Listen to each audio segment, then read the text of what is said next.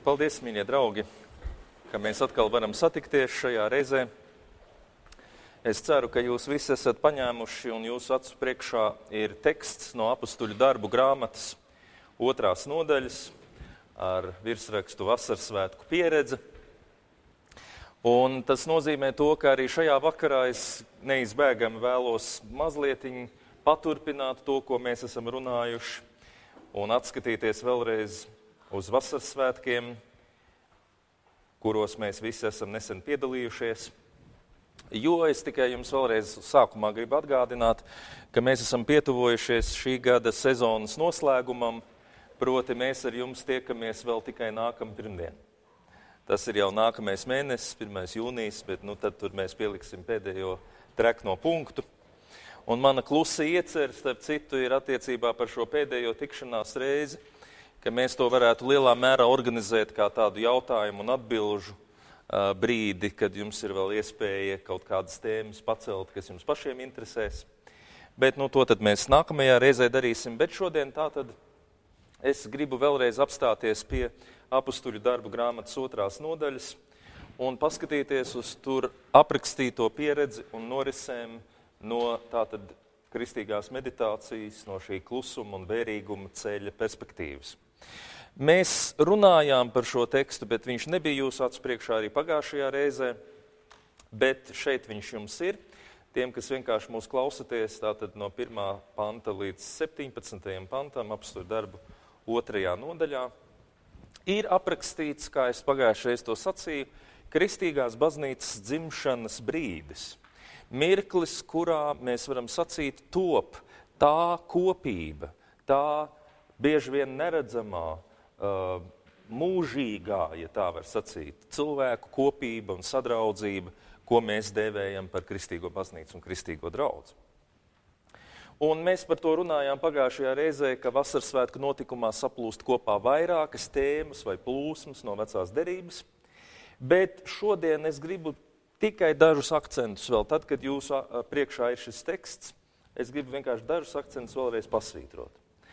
Pirmā lieta, kas man liekas ļoti svarīga, ir tā, ka, ja jūs rūpīgi ieskatāties pirmajos divos pantos, jūs redzat, cik neparasts ir šis notikums, kurš tiek aprakstīts apmēram sekojošā veidā, ka tad, kad bija pienākuši Vasarsvētku, Vasarsvētku dienas, šie svētki bija pienākuši, mēs lasām, mācekļi bija sapulcējušies kopā Un nākamajā teikumā mēs lasām, ka pēkšņi no debesīm nāk šņākoņa, kā tāda stipra vēja brāzma, kas piepilda to namu, kurā viņi sēž un seko visi pārējie apraksti un notikumi. Um, vakardienas sprediķī, kas bija pulkstens desmitos, es mazliet jau mēģināju to akcentēt un pasvītrot. Ja jūs ieskatāties šajā tekstā, viņš ir neparasts ar to, ka viņš neko nesaka par to, ko mācekļi šajā reizē, kad viņi sanākuši kopā, ko viņi tur dara. Jo redziet, kristīgajā baznīcā ik pa brīdim atrodas cilvēki, kuri runā par to, ka eksistē kaut kādi īpaši paņēmieni, ar kuriem mēs varam saņemt svēto garu. Un, piemēram, viens no lielākajiem absurdiem ir, ka kādreiz cilvēks saka, ja tu gribi dzīvot svētajā garā, tad tev ir jālūdz mēlēs. Tev ir kaut kādās īpašās garīgās lūkšanās, lūkšanu formās, jāiesaistās, kur tu mācies tātad, nu, šos garīgos, svētā gara fenomenus kaut kā īpaši uztvert. Un tad, jūs zināt, ir vesela virkni kristīgās draudzes, kas pulcējas tieši ap šo pretenziju, ka mēs tad noteiktā veidā lūdzoties, noteiktā veidā uh, sevi kaut kā uh, atverot vai, vai varbūt pat īstenībā uzšūpojot un sašūpojot, mēs caur to saņemsim svēto garu. Bet īstenībā tā lieta ir pilnīgi pretēji visi uh, fenomeni, ko kristīgā baznīca varētu saukt un dēvēt par patiešām saistītiem ar Svēto garu, izriet no kaut kā, kas šajā tekstā ir zīmīgi noklusēts. Respektīvi, tad, kad šie mācekļi ir pilni ar svēto garu, tad viņi sāk runāt svešās mēlēs, tad viņi sāk pārliecinoši sludināt, tad viņi sāk īstenot visas tās harizmas un dāvanas un spējas, kas viņos ir ieliktas, bet tas ir jau rezultāts. Tas ir rezultāts. Tātad, ko es gribu jums teikt, draugi? nekad neaizraujieties ar ārējiem fenomeniem. Jo tā secība vienmēr ir otrādi. Tad, kad tu esi kaut ko būtisku piedzīvojis, tad, kad gars tevi ir satvēris, tad parādās šie fenomeni. Un tad viņi tiešām nāk no gara. Bet, ja mēs vispirms pieķeramies tām ārējām lietām, tad var bieži vien gadīties tā, ka mēs sevi um, piemānam. Proti, mums ir ārēji spēcīgas izpausmes, mēs, um, sacīsim tā, varam parādīt brīnumus, mēs varam teikt, redziet, cilvēki mūsu aizlūgšana rezultātā ir atguvuši veselību, vēl kaut ko mēs varam mēģināt nodemonstrēt. Bet to, kas ir lietas būtība, mēs varam nesatvert. Un tas ir paradoks. Bet es gribu jūs brīdināt, ka mēs dzīvojam neparastā laikmetā, kurā ir iespējams nonākt draudzēs un garīgās strāvās, kas ārēji ir ārkārtīgi spēcīgas. Un saka, redziet, tas ir pierādījums, ka mēs turamies svētajā garā. Bet tai pašā laikā, kas var nebūt satvērušas lietas būtību, ja tā var teikt. Jo tas, ko šis teksts mums parāda, paliek noklusēts starp rindiņām. Tā it kā kāds gribētu sacīt, ka savējie sapratīs. Ka tie, kas zina, par ko ir stāsts, sapratīs, kas arī notika vasaras svētku dienā. Un proti, jā, šis pats otrais pants saka, ka šī vēja brāzma, kas piepildīja namu, kas paņēma līdzi šos mācekļus, piepildīja to vietu, kur viņi sēdēja. Man tas liekas ārkārtīgi interesanti. Tas ir vienīgais, kas ir pateikts. Viņi sanāca kopā, viņi tur sēdēja. Nu, es domāju, nu, kas var būt vienkāršāks? Tu atnāc un tu apsēdies. Ja? Jūs arī sēžat, vai ne? Un pēkšņi svētais gars nāk par jums. Ja? Bet, respektīvi, viņi nedara kaut ko īpašu. Nedz viņi lēkā, nedz viņi kaut kā sevi uzkurina, ne viņi kaut kā speciāli kaut ko mēģina panākt, imitējot gara darbību. Bet mēs lasām, viņi vienkārši tur sēdēja kopā. Un jūs jautājat, ko viņi tur darīja? Un, ja mēs zinām kontekstu, mēs saprotam, droši vien jau, ka viņi sarunājās, droši vien jau, ka viņi nesēdēja gluži klusumā, kā varbūt mēs meditācijas brīdī. Bet tai pašā laikā mēs saprotam lielu atbildi. Proti, viņi pulcējās kopā, mācoties atvērties, ja tā drīkst teikt, vai mācoties, nu, kā lai pasaka, ļauties tai pieredzēji, ko viņi nesen ir piedzīvojuši. Un vēl vairāk es jums teikšu, viņi bija kopā tāpēc, lai vispār šī pieredze izveidotos. Un atļaujiet man mazliet paskaidrot. Proti, mēs bieži vien runājam par pieredzi apmēram tādā nozīmē, ka pieredze nozīmē visu, kas manā dzīvē notiek. Redziet, manā dzīvē daudz notikumu notikuši, man ir liela pieredze. Un es atļaujos to apšaubīt. Jo pieredze ir notikums kombinācijā ar zināmu mūsu izvērtējumu par šo notikumu. Analīzi, iedziļināšanos. Pieredze veidojas tad, kad kaut kas tavā dzīvē notiek, un tu to pamani, ka tas ir noticis. Tu par to domā, un tu mēģini analizēt, un tu mēģini kaut, kā, kaut kādus secinājumus, kaut kādus jā, iekšējus vērtējumus tam piešķirt. Un redziet, tas ir tas, ko kristīgajā terminoloģijā ļoti bieži visplašākajā nozīmē apraksta ar vārdu meditācija. Meditācija, kā jūs zinat, nav tikai tā lūkšanas forma, ko mēs šeit pirmdien vakaros mēģinam kaut kā praktizēt un apgūt. Meditācija nozīmē šo vienu lietu, ka tu esi vērīgs un uzmanīgs un tu mēģini uh, nepaskriet garām. Gan savas dzīves notikumiem, kas ar tevi ir notikuši, gan arī varbūt kaut kam, ko tu esi lasījis, piemēram, Bībeles tekstos vai ko tu esi dzirdējis. Jo mūsu lielākā problēma ir tāda, ka Dievs mums sūta notikumus, bieži vien, piedodiet, līdz, līdz smieklīgumam, līdz nežēlīgumam līdzīgus. Un mēs nepamanām, vai pamanām pēc tam, vai vienkārši pamanām, ai, cik jocīgi, vai ne? Atkal es esmu turpat. Bet īstenībā tieši tas ir tas moments, Dievs mums mēģina, ja tā drīkst teikt, kaut ko pateikt, pati dzīve mums atkal un atkal liek šo vienu un to pašu norisi mūsu priekšā, bet mēs viņu palaidām garām, mēs nespējam viņu satvert. Un tieši tāpat tas ir ar, piemēram, Bībeles tekstiem, gudrām atziņām. Kurš no mums nav dzirdējis visu, ko var dzirdēt, draugi? Es pieņemu, jūs visi esat bijuši dievkalpojumos daudzas reizes. Godīgi sakot, kādreiz tā ir tāda jocīga sajūta, vai ne? Nu, ko tā vēl? Nu, tad mācītājs tur pastāst kādu stāstīņu, vai tur izlasīs kādu jaunu teoriju. Nu, tad jā, ok. Bet principā mēs jau tā kā visu zinām. Tikai tie vārdi ir vārdi. Un mums ir vajadzīga meditācija, mums ir vajadzīga šī koncentrēšanās, šī apstāšanās, šī pievēršanās vai nu dzīves notikumam, vai nu Bībeles tekstam, vai kādai atziņai, ko es esmu uzzinājis, lai es to ielaistu sevī. Un es domāju, ka tas ir viens veids, kā mēs saprast varam, ko tad tie pirmie mācekļi tur darīja. Proti, viņi bija pieredzējuši visas lietas. Viņi bija redzējuši Jēzu dažādā veidā darbojamies, viņi bija pieredzējuši, kā viņš tiek atstumts un atmests. Viņi bija pieredzējuši to, ka viņš ir dzīvāks par dzīvu, neskatoties uz to, ka viņš ir miris. Viņi bija pieredzējuši, ka šī viņa nāva un augšām celšanās nenozīmē to, ka kaut kas ir noticis nepareizi, bet ka īstenībā viņš ir līdz galam izdzīvojis to, kas viņš ir.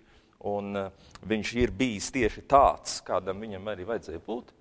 Un lūk, kādā no šīm reizēm, kad viss ir kopā, kad visi sēž, kad visi mēģina satvērt to un, un kaut kā ieklausīties tajā, atvērties, kā es to definēju, šai pieredzēji, šai, šai šiem norisēm, kas viņu dzīvēs ir bijušas. Tanī brīdī viņi piedzīvo. Viņi piedzīvo kaut ko, kas tiek aprakstīts šajos dramatiskajos tēlos. Kā šī vētra, kā šī lielā plūsma, kas pēkšņi viņus satver un viņus kaut kur nes. Un tāpēc es vēlreiz gribu šeit, izmantojot izdevību, tikai jums arī pasvītrot, ka arī tā meditācija, kuru mēs šeit praktizējam, tā nav, eh, kā kādreiz man viens cilvēks ar tādu uh, smagu ironiju teica, nu, jūs tur, kā viņš tur teica, nu, jūs tur mantrojat nu, tāda mantrošana, vai ne, mantras skaitīšana. Vai ne? Un tā doma bija tāda, ka tas cilvēks jūtās apmēram tā, ka ko mēs te darām, ir, vai ne, mēs tagad sēžam un mēs domājam, ka Dievam ļoti svarīgi ir, ka mēs viņam tur mantru skaitam. Un ka tādā veidā mēs kaut ko panākam.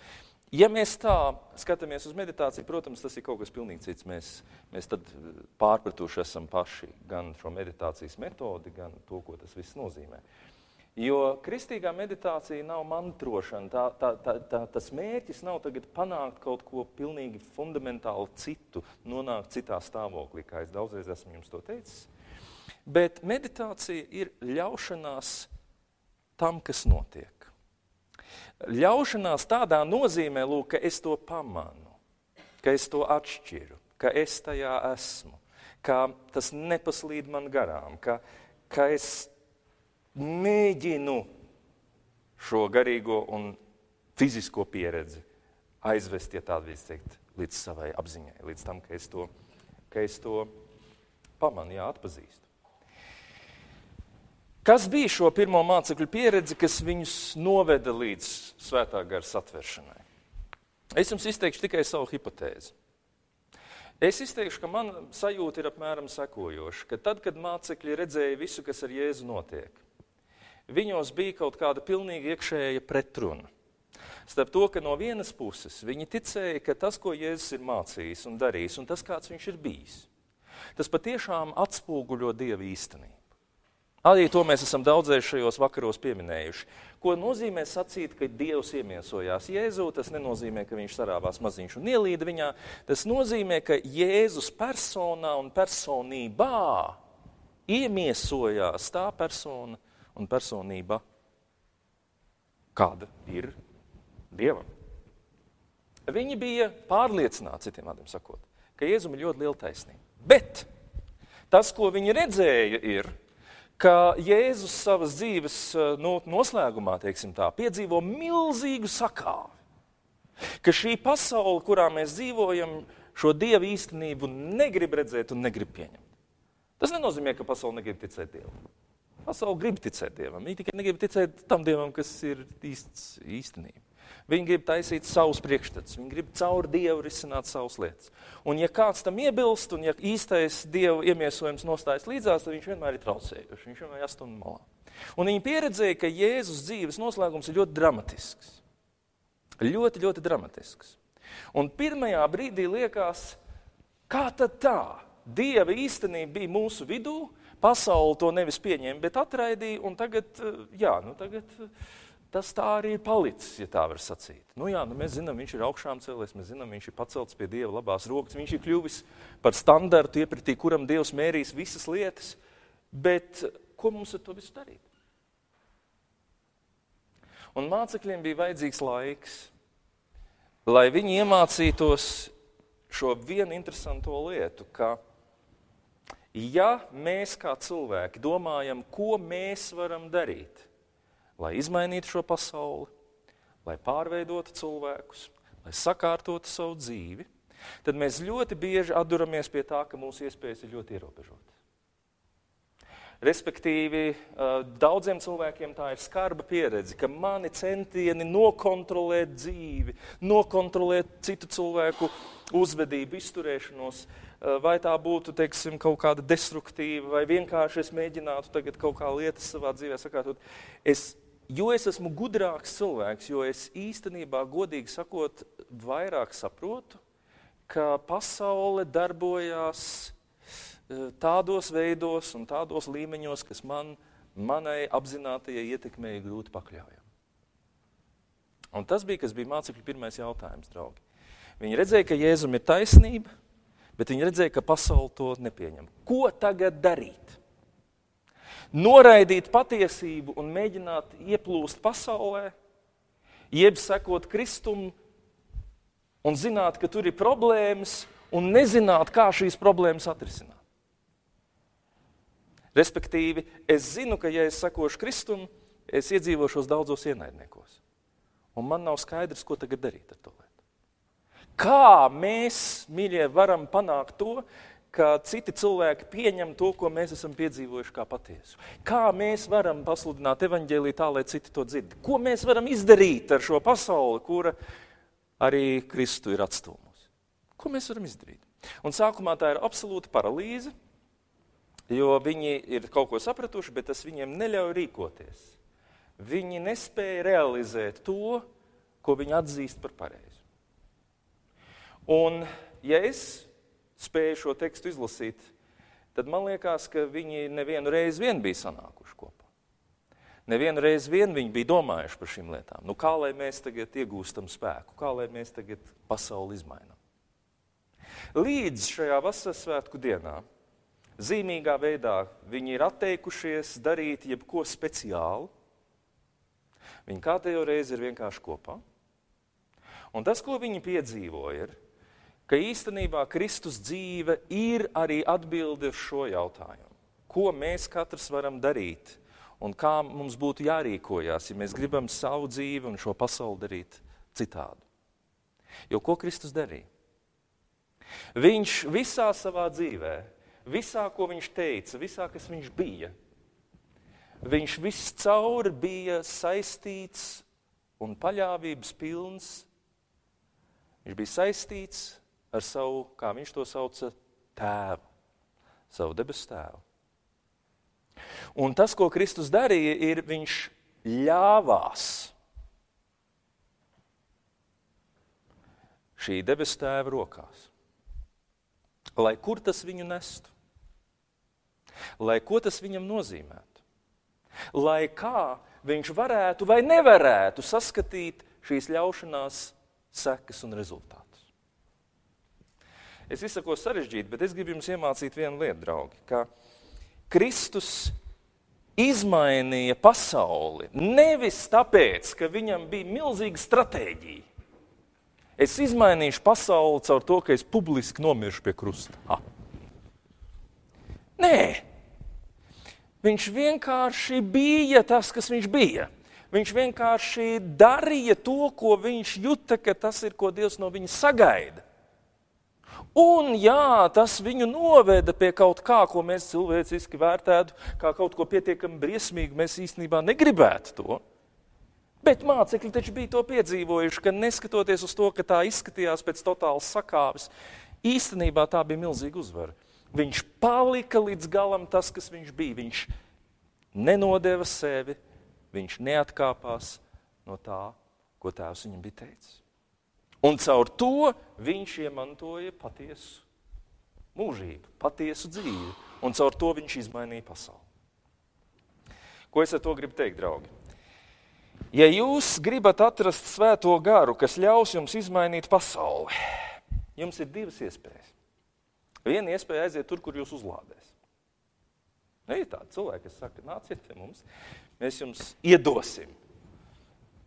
Tā, ka jūs tur iziesiet uz ielas un tur viss jūs teiksiet, puh, un viss nokritīs gar zemi. Un jūs varēsiet izmainīt pasauli. Ne? Bet, mīļie draugi, tā ir ilūzija. Jo Ja mēs šādi redzam uz lietām, skatāmies uz lietām, mēs, protams, vienu laiku varam tā sevi uzskačāt, un mums var likties, ka tūlīt mēs varēsim visu to lietu izdarīt. Bet mēs atdursimies pret to, ka bieži vien tā ir milzīga iedoma. Un ziniet, kāpēc? Tāpēc, ka tajā brīdī mēs neesam svētajā garā, un es to jums saku autoritatīvi. Kāpēc? Tāpēc, ka mēs mēģinam vadīt svēto garu. Mēs sakām, svētais gars ir enerģija, Dievs ir enerģija, Dieva palīdzība ir enerģija. Uh, labi, nav enerģija, kas tas vēl varētu būt. Respektīvi, tas ir kaut kas, ar ko es iešu un es darīšu. Un, draugi, tas ir ļoti vilinoši. Kad tu tā iejūties tajā visā, tad pašam sāk patikt. Tev sāk likties, ja tas ir ko Dievs grib no manis. Bet, draugi, mēs nemaz neesam svētajā garā. Jo būt svētajā garā nozīmē pilnīgi pretēju procesu. Nevis, ka es esmu atradzis metodes, ar kurām izmainīt pasauli. Nevis es esmu atradzis neizsīkstošu spēku avotu, ar ko es varu visus pakļaut savai gribai. Bet es esmu atteicies no šiem centieniem pasauli izmainīt pēc sava ģīmju līdzības. Un tā vietā Es esmu līdzīgi Kristum pašam, absolūti fokusēts uz Dievu pašu, uz Viņa klātbūtni, uz Viņa darbu, kura daļa esmu es. Un tā ir atkal viena maza smalka niansīta, draugi, bet tajā ir viss atklāja. Ja jūs gribat atšķirt garus, tad nekad neskatieties uz ārējām izpausmēm tādā nozīmē, ka tur kāds šovs ir mūsu priekšā. Bet vienmēr jautājiet, vai šeit cilvēks lieto garu, mēģina lietot kaut ko, ko viņš sauc par garu, lai sasniegtu savus mērķus. Jeb mēs šeit saskaramies ar cilvēku, kurš vienkārši ir tas, kas viņš ir, jo viņš ir ļāvies šai gara darbībai un klātbūtnē. Tātad es gribu sacīt, ka šis interesantais klusums, ka visi bija vienkārši sanākuši kopā un tur sēdēja un mēs pat nezinām, ko viņi darīja, ir ļoti svarīga atslēga. Svēto garu tu nesasniedz ar metodēm. Svēto garu tu nevari pakļaut savām iegribām. Un, ja tu kaut ko vari pakļaut savām iegribām, es garantēju, ka tas nav svētais gars. Tā var būt kaut kāda enerģija. Jā, tā var būt tava harizma, tā var būt tava suģestīs spēja, tas var būt viss kaut kas. Tie tas nav. Tas, par ko mēs runājam. Jo pakļaut garu savai iegribai, tas nozīmē apmēram to pašu, ko es pat nezinu, ko to varētu salīdzināt. Tas nozīmē, nezinu, ka tu teiksim, uh, uh, pakļauj kaut kādus fizikas likumus savai iegribai. Nē, gars dara savu darbu. Un jūs jautāsiet, ko tad mēs varam iesākt, ko tad mēs varam izdarīt? Un redziet, patiesību sakot, mēs varam izdarīt tikai vienu lietu, un tas ir galvenais, kas mums ir jāizdara. Tas ir varbūt visgrūtākais mums kā cilvēkiem. Mums ir jāuztver šī gara plūsma un jāļaujas tai. Interesants ir šis tēls, vai ne? Ka pēkšņi no debesīm nāca šņākoņi tā kā stipra vēja plūsma. Un šeit ir atsauce vai pareizāk sakot, tas sasaucās ar Jāņa evaņģēlīja trešo nodaļu, kur Jēzus sarunājas ar Nikodēmu, vienu no jūda rakstu mācītājiem. Viņš saka, gars vai vējš pūš, kur gribēdams. Un tu nezini, no kurienes viņš nāk un kurp viņš iet, bet tu vienkārši redzi, kā viņš pūš. Tāpat tas ir, viņš saka, ar cilvēku, kas ir dzimis no gara. Mīļie draugi, tas, ko es gribu jums teikt, zem visas virspuses Zem visa tā, ko mēs pa virspusi darām, kur mēs mēģinām pārveidot pasauli, kur mēs mēģinām nokontrolēt savu dzīvi, kur mēs gribam visu izdarīt tā, kā mēs gribam. Pie tam svēti un labi un pareizi, draugi. Es neapšaubu jūsu morāls normas. Jūs gribat taču, vai ne, lai labi viss ir, vai ne? Zem tā visa pūš vējš. Un tas vējš ir gara pūsma. Tas vējš ir tas, kur radītājs toreiz virs tumšajiem ūdeņiem, kur zem bija neiztaisīta un tukša, un tums bija pār dziļumiem. Tur viņš pūta, tur viņš lidinājās pāri tam visam. Un viņš iekustināja šo pasauli. Un viņš turpina to iekustināt. Un, ja tur nebūtu tā pūsma, tad nebūtu arī pat vārdu. Jo pat vārdi skan tikai tāpēc, ka ir pūsma, kas viņus nes. Šī pūsma ir pirms vārdiem, šī elpa, šī dieva dvaša ir pirms vārdiem. Tā ir tā, kas dod vārdiem iespēju skanēt. Tīri tehniski, bet dziļi simboliski tā skaitā. Un tas nozīmē, ka vispār, kā mēs arī esam vienā no lekcijām runājuši, mēs par Dievu esam aicināti domāt, un it sevišķi par Dieva gāru, manuprāt, kā par šādu virzienu, kurā radītājs mūs virza. Un redziet, būt svētā gara piepildītam, nozīmē spēt uztvert šo plūsmu. Tas nozīmē saskaņoties ar šo dziļumu plūsmu. Tas nozīmē, jūs saprotat, kā reizi beigt tur pa virspusi, mēģināt kaut kā pa savam to lietu darīt. Bet atvērties šim te lielajam, lielajam spēkam, pateicoties kuram šī pasaule pastāv, pateicoties kuram mēs esam tie, kas mēs esam un pateicoties kuram mēs ceram uz nākotni. Gāru mēs uztveram, draugi, nevis kā enerģiju, kas ir pakļauta mūsu iegribai, bet garu mēs uztveram kā enerģiju, kas mūs nes līdzi. Garu mēs uztveram kā kaut ko, kas vienkārši notiek. Un tas ir, ko kristīgā baznīca un kristietība cenšas izdarīt. Ja vien mēs esam autentiski, mēs vēlamies sevi atvērt šai gara darbībai. Mēs vēlamies nosinhronizēties ar šo gara darbību. Un tas, kas mums kādreiz ir vajadzīgs, draugi, kā reizi ir beigt lēkāt, beigt censties tagad speciāli sevi kaut kā sašūpot, un tagad mēs iesim un būsim, un atkal mēs uz veseliem trim mēnešiem noticam tam, ka tūlīt gan būs savādāk nekā visas desmit iepriekšējās reizes. Bet garu satvert nozīmē kādreiz kā reizi no tās virspuses mazliet nolaisties dziļāk un saprast, tā ir virspuse. Bet kas ir tā plūsma, kas mūs nes? Un šajā reizē šie mācekļi apsēdās. Šajā reizē viņi vēlreiz pārdomāja, vēlreiz atminējās Jēzus dzīves notikumus. Viņi saprata, tā ir atslēga. Nevis tajā ir atslēga, kādus visādus darbus Jēzus darīja. Un mēs tagad mēģināsim imitēt. Ziniet, viņš darīja tā, mēs arī tā darīsim. Nu, tādā ārējā nozīmē. Bet tā atslēga bija, ka viņš jūta šo plūsmu. Ka viņš netraucēja šai plūsmai darboties, ka viņš bija sinhrons, saskaņots ar šo dieva darbu. Un, ja tā, draugi, tad arī mēs visi varam būt tam pieskaņoti, arī mēs tam varam pieslēgties. Un, ja jūs apskatāties pēdējos pantus, 17. pantu, respektīvi, kur tā tad um, tiek apstults Pēters skaidro to, kas šeit notiek, viņš saka, šeit piepildās tas pravietojums, kas ir sacīts ar pravietu Joēlu, Joēla grāmatas trešajā nodaļā. Un viņš saka, pēdējās dienās notiks, un interesants termins, ja šīs pēdējās dienas, tās ir tās dienas, kuras ir pirms lielās pasaules pārveides un transformācijas. Viņš saka, šais dienās, kad tuvosies pasaules piepildījums, notiks, es izliešu savu garu pār visu miesu. Un jūsu dēli, jūsu meitas pravietos, jūsu jaunekļi skatīs redzējumus, jūsu simgalvi sapņos sapņus. Te ir trīs klasiskas, tādas reliģiski pazīstamas lietas - pravietošana, vīzijas, intuīcija. Un šis Joēla pravietojums ir tāds, viņš saka, ka tas lielais laiks, tās lielās pārmaiņas, tās pēdējās dienas nāksies tad, kad cilvēki spēs sajust, piedzīvot, atvērties šai dziļajai gara plūsmai. Es izliešu garu pār visu miesu. ar visiem cilvēkiem.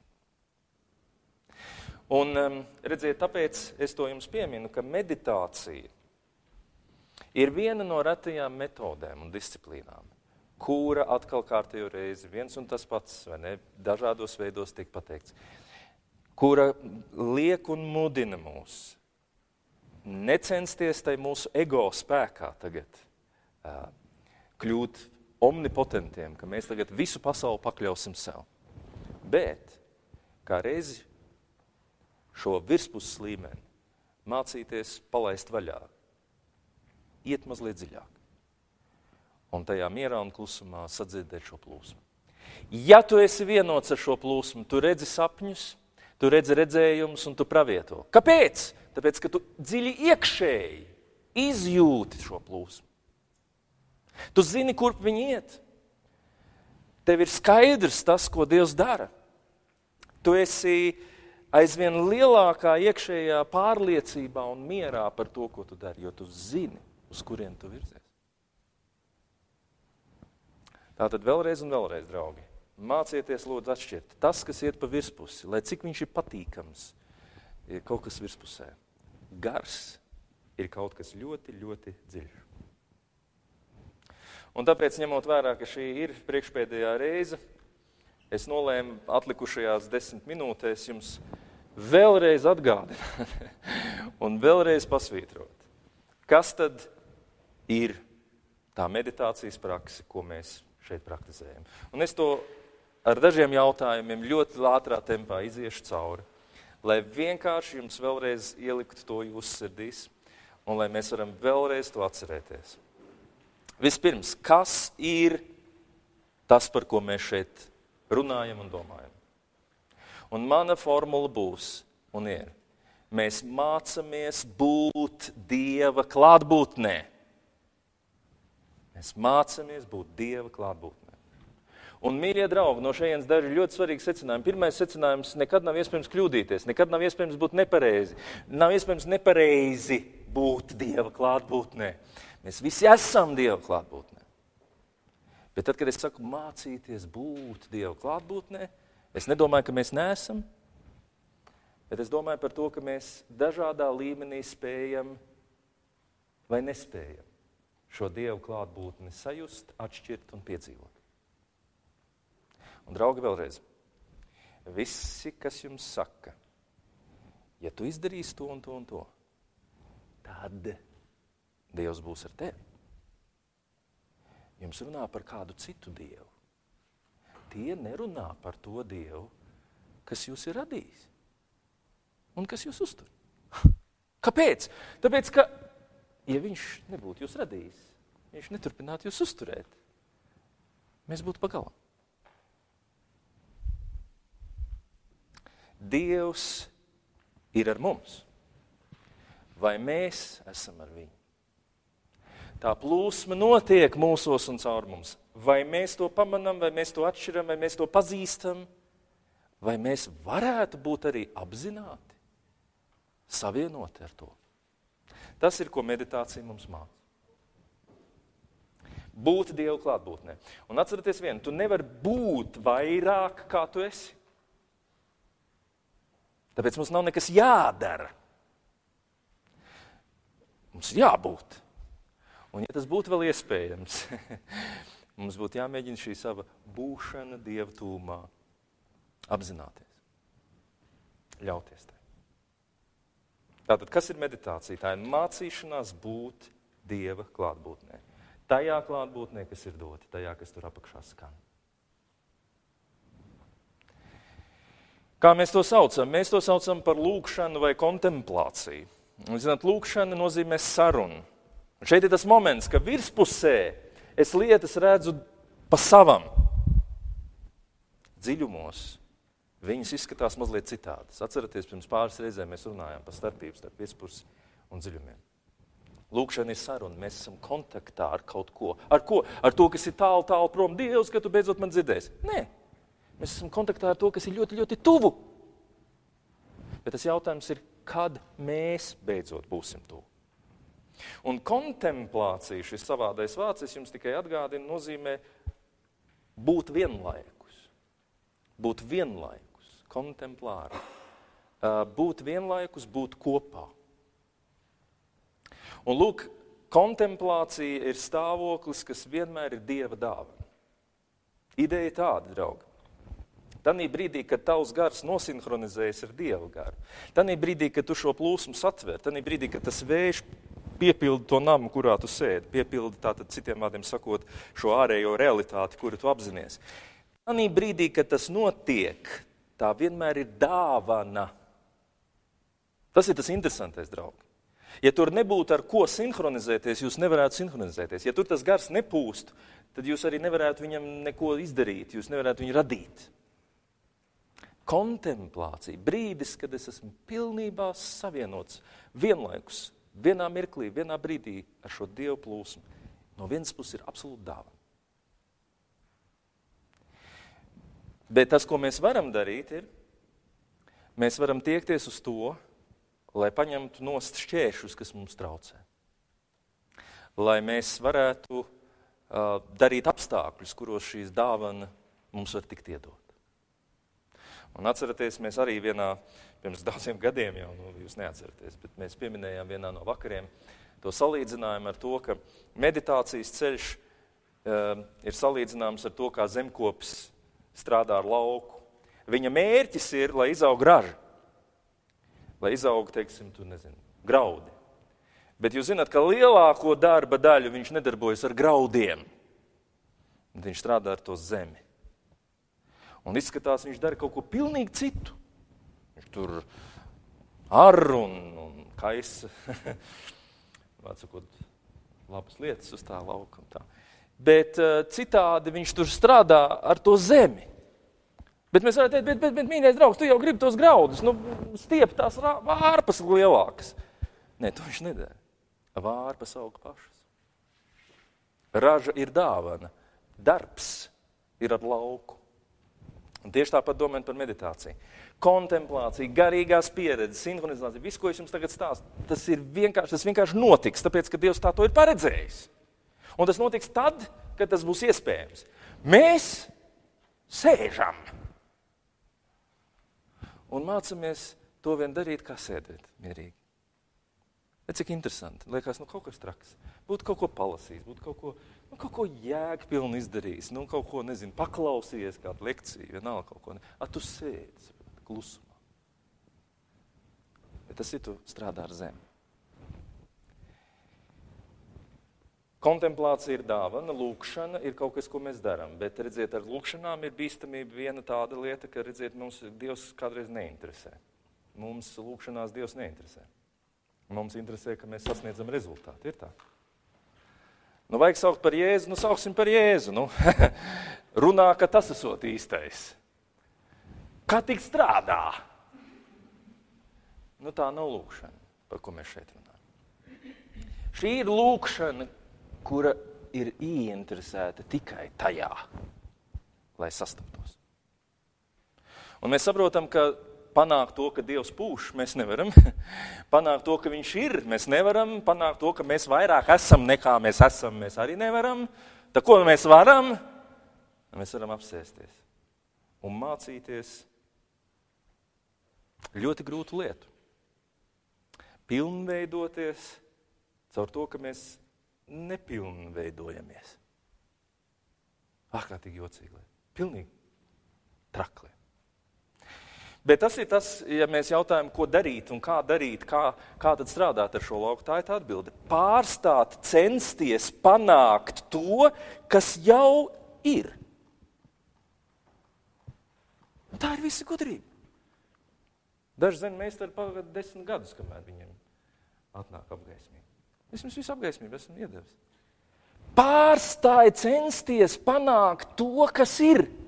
Jo redziet, ja es sāktu lūgt Dievu, mīļais Dievs, lūdzu, lūdzu, nu izdara, lai šis krēsls būtu krēsls. Dievs, kungs, es būtu ļoti pateicīgs, ja beidzot tas būtu krēsls. Nu, dari, ka tas ir krēsls. Lūdzu, lūdzu.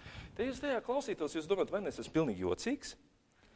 Vai arī jums sāk likties, Paklau, bet varbūt tiešām es kaut ko neesmu pamanījis. Varbūt tas nav krēsls. Varbūt tur ir tiešām ko lūgt. Jūs saprotat, lai viņš būtu krēsls. Jo, nu, kas tad tas pa krēslu, ja tā padomā?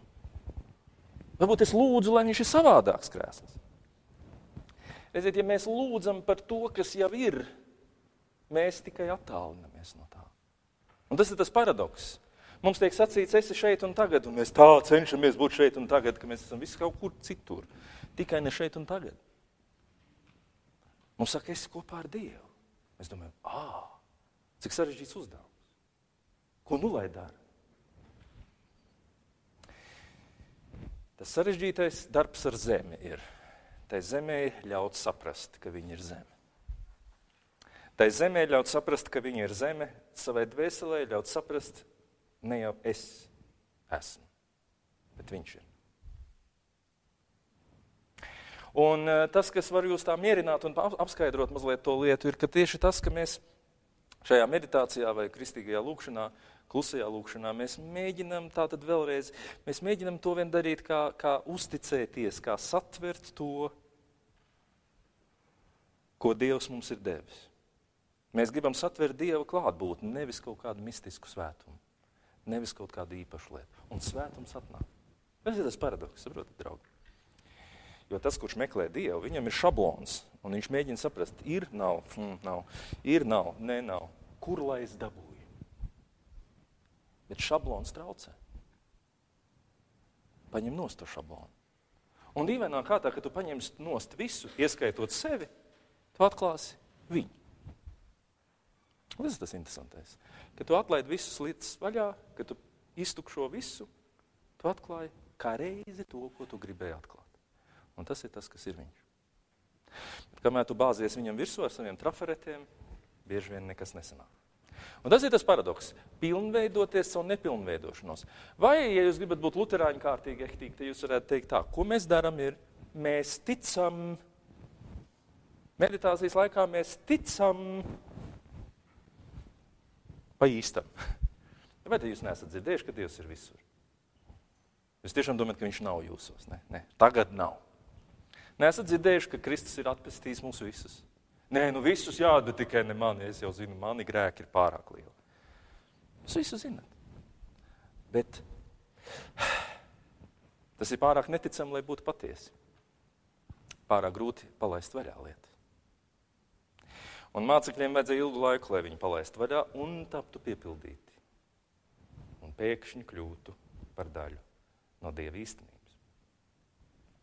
Un kas mums palīdz, ir tātad trīs lietas, visiem jums zināmas meditētājiem, bet es viņus sarindošu prioritāšu secībā, manuprāt, šobrīd, kā es to saprotu. Pirmā lieta ir šis īsais lūkšanas vārds. Tas ir ankurs, kas vienkārši saka, tev nav jāizdomā nekas jauns, Tev šajā brīdī nav jācenšas panākt, ka Dieva gars tevī darbojas. Tev nav jāiet kaut kur, esi šeit un tagad. Bet, nu, bet tad skaiti to vienu pantu. Kā es varu nedomāt par balto zinonu? Nu, domā par melno sunīti. Ir ok. Kā es varu skaitīt vienu pantu, vienu lūkšanas vārdu? Un es, starp citu, jums atgādināšu tikai to, ka kristīgajā asketikā tas ir paņēmiens, kas tiek ieteikts kā visdrošākais, ja mēs lasām oriģinālu avotus. Visdrošākais paņēmiens vienkārši Pieturies pie šī viena vārda. Un kāpēc es saku, tas ir prioritāri? Tāpēc, ka pārējie visi apstākļi var būt ļoti dažādi. Mēs par to pēc mirkļa runāsim. Tu vari, jūs saprotat, nekad dzīvē nebūs divi nākamie elementi pilnībā. Nekad. Dzīvē nekad nav perfektu apstākļu. Vienīgais, ko mēs varam darīt, ir šos perfektos, vai pareizāk sakot, neperfektos, sākumā neperfektos apstākļus pieņemt un atklāt, ka viņi ir perfekti. Sākumā mums liekas, es ar Dievu varēšu sastapties tikai tad, ja es būšu pilnīgā klusumā. Ja mans kaimiņš beidzot beigs tur aiz tās sienas ārdīties, vai ne? Ja mani bērni beidzot ļaus man mierā pasēdēt, tad es sastapšos ar Dievu. Ideālajos apstākļos. Nav ideāla apstākļa, nu, nekā, diemžēl. Ja? Bet lūkšanas vārds saka, tu turpini sacīt šo vārdu. Un ziniet, ja mēs attīstījuši zināmā mērā to, ka mēs saprastu, ko mēs gribam panākt, mēs vētras vidū varētu sēdēt un mēs meditētu. Absolūtā klusumā un absolūtā mierā. Tātad mēs ņemam šo vienu lūkšanas vārdu. Uh, Maranata vai jebkuru citu, kā jūs to zinat, vēlams to nemainīt, it sevišķi meditācijas laikā. Ja jums gribās meditācijas laikā nomainīt vārdu, tas ir skaidrs. Atkal mēs domājam, ah, tas nedarbojas, tagad es pāriešu uz kaut ko citu labāku. Ko lai pamēģina? Ja? Otra lieta ir mierīgs ķermenis. Un šī ir prioritāra secība. Otra lieta ir mierīgs ķermenis. Tikai tas sarežģītais ir šeit tas, ka, kad es pasaku mierīgs ķermenis, nedod Dievs vēl taisnu muguru un tā tālāk, tas kļūst priekš mums par jaunu nemieru avotu. Jūs zināt, visgrūtākais bauslis ir, kas svētdienās nedrīkst strādāt. Tāpēc, ka tas rada tādas komplikācijas. Ja? Jo kāda lai es nestrādāju? Svecīt drīkst nopūst? Nedrīkst. Televizoru var ieslēgt? Nē. Tas viss ir darbs. Pogas spaidīt vispār liels darbs. Ik viens, kas strādā ar datoru, to zina. Kāda starpība? Vai televizoru pogu nospēlēt? No. Tā tad. Mēs nedrīkstam to pārvērst par jaunu absurdu. Tas mierīgais ķermenis nozīmē vienkārši apsēdies, lūk, apsēdies, apsēdies, pa īstam apsēdies. Un es jums varu tikai personiski sacīt, manā, manā meditācijas praksē tas ir bijis, it sevišķi sākuma periodos, ļoti labs paņēmiens, ka es ik pa brīdim esmu tā konstatējis sevi un, un, un, un pateicis sev vēlreiz un vēlreiz. Tu zini, es te sēžu jau desmit minūtes, bet es neesmu apsēdies vēl vispār. Nopietni, es esmu piesēdis. Es esmu pilns ar kaut ko. Saprotat, es jau neesmu apsēdies normāli. Es esmu tā piemeties. Ja? Gatavs tulīt, kas būs, ja? kur jāiet. Pēc desmit minūtes es vēl esmu piemeties. Un es saku, apsēdies. Jo tas ķermenis palīdz mums šo mieru iegūt, bet tikai lūdzu, tā ir otrā lieta. Nesaps, nesaspringstiet ar šo lietu. Taisni atspringstiet. Tā ir tā ideja. Tas miers rodas no atspringšanas. Trīc rokas ļoti labi. Lai trīc, noliec viņas tā, ka viņas netrīc. Ja? Respektīvi, domāsim par to, lai tas ķermenis labi justos. Es esmu šeit. Un trešā lieta ir šis klusums, ārējais klusums un iekšējais klusums. Un es saku, tā ir trešā lieta, tāpēc, ka nekad nav klusuma. Nekad nav. Aizbāžat aiz vatis, ar vati sev ausis cieti, vienalga asiņu šalks un kaut ko jūs dzirdēsiet. Beigās sirds tā sitīsies, ka liksies, ka bungas. Mēs neesam absolūtā klusumā. Un meditējot, vienmēr kāds vārīs kafiju un staigās kaut kur riņķī apkārt, un kaķi ņaudēs un baloži ķērks. Ja? Un mēs nevarēsim to mieru atrast. Tāpēc klusums ir primāri viena lieta, draugi. Vārdu trūkums. Un redziet, ja jums aiz sienas kāds tarkšķis, tad gan nav labi tad tiešām nav labi. Tad mēģinam atrast kaut ko, ko tas netarkšķi. Kāpēc? Tāpēc, ka tad, kad dzirdam vārdus, mēs automātiski viņus procesējam. Mēs automātiski ar viņiem strādājam. Bet jebkura dabiska skaņa, izņemot vārdus, cilvēku vārdus, cilvēku ražotus vārdus, var būt daļa no klusuma. Tu vēlreiz vēlreiz es jums esmu teicis, ka tu aizej mežā un tu apsēdies klusumā, vai ne? Esat kādreiz mežā bijuši klusumā, ja? Nu, tad jūs zināt, kāds ir klusums. Viņš ir ļoti skaļš. Viss tur kustās, viss tur notiek, bet ir klusums, tāpēc, ka es dzirdu. Tāpēc, ka es dzirdu. Tātad tas, ko mēs darām, ir, mēs paņemam šo vārdu, mēs apsēžamies mierīgā pozīcijā un mēs sākam dzirdēt. Un sākumā mēs dzirdam ārējās lietas, un ir ļoti labi. Jo vēlreiz es jums atgādinu, draugi, jūs neko citu nevarat izdarīt kā pieslēgties Dieva radītajai pasaulē, realitātei, kurā jūs esat. Un ar to jūs būsiet pieslēgušies tam garam, kas ir apakšā. Bet, ja jūs mēģināsiet paši tikt caur tai realitātei, jūs izurpsieties kaut kur, bet tas nebūs vairs labi. Tas būs kaut kas cits. Tās būs fantāzijas. Jo tas gars ir šajā pasaulē, kurā mēs esam. Un tāpēc tas galvenais princips meditācijā vēlreiz un vēlreiz ir, ka mēs apzināmies un ļaujamies žēlastībai, kas mums ir dota. Mēs viņai ticam, un mēs šo ticību konsekventi realizējam. Tātad 20 minūtes dienā, vai labāk 40, 20 no rīta, 20 vakarā. 40 minūtes dienā es jūs aicinu ticēt. Ticēt kam? Ticēt tam, ka Dievs ir radījis jūs, šo pasauli. Ticēt tam, ka jums ir dota žēlstība. Ticēt tam, ka, ka Dievs arī pie jums darbojas. Ļaujiet viņam darboties. Un jūs redzēsiet, kā tā žēlastība nesīs augļus, un viņa pati sevi pierādīs un pieteiks. Ir sevišķi, ja mēs esam kristīgi cilvēki, mēs to visu zinām, un to visu mums Dievs mūsu kristībā jau kādreiz vēl pavisam maziem esot, jau visu ir iedevis. Nu, lūk, tā tad vēlreiz vasaras svētki sākas nevis ar to, ka es izmantoju Dievu, ka es tagad dabūju kaut ko, kas nodara maniem egoistiskiem mērķiem.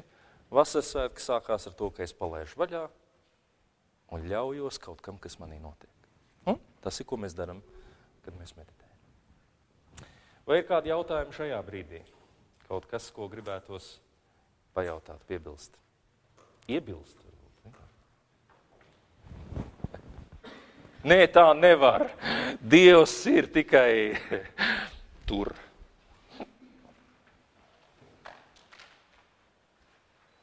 Saprotat, kādreiz ir jāizbrauc uz speciālu vietu, lai tu viņai pieslēgtos. Tad, kad atnāc uz savu baznīcu, atkal tas mācītājs priekšā, es jau zinu, atkal viņš tur runāja. Mm, aizbrauc uz citu vietu, o, tur ir cits mācītājs. Ja? Pasaka, kaut ko pilnīgi garām, bet es dzirdu, es dzirdu. Un tāpēc kādreiz tas tiešām strādā, kad citās vietās. Ja jūs gribat, starp citu, ja jūs gribat būt eksperti, jums jābrauc vismaz 1500 km. Jā, es esmu jums to teicis. Jūs šeit esat savējie. Ja? Jūs aizbrauksiet 1500 km vismaz kaut kur uz turieni, jūs varat uzdoties par ekspertiem. Piemēram, meditācijas ekspertiem. Jūs varat teikt, mēs esam gadiem ilgi praktizējuši meditāciju. Ļaujiet man jums pastāstīt, un viss klausīsies. Jūs esat no tālienes, esat eksperti. Tādi nav redzēti tādā krāsā un tādi izskata cilvēki. Labi, mīļie draugi, meditēsim.